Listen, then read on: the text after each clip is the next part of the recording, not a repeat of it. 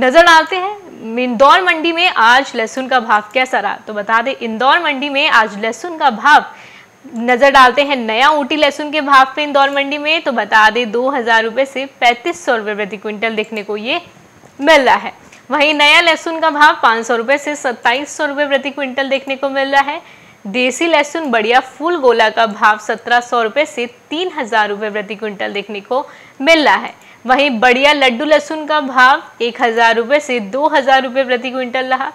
छोटा लड्डू लहसुन का भाव आठ सौ रुपये से पंद्रह सौ रुपये प्रति क्विंटल देखने को ये मिल रहा है। वहीं हल्का लड्डू लहसुन का भाव पाँच सौ रुपये से आठ सौ रुपये प्रति क्विंटल रहा।